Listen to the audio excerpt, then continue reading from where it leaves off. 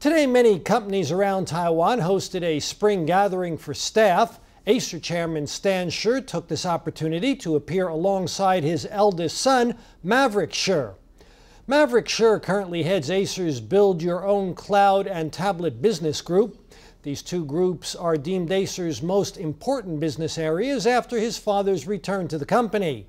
Stan Shih also drew attention for saying he would encourage older executives in the company to seek early retirement to allow a new generation of talent with fresh vision to lead.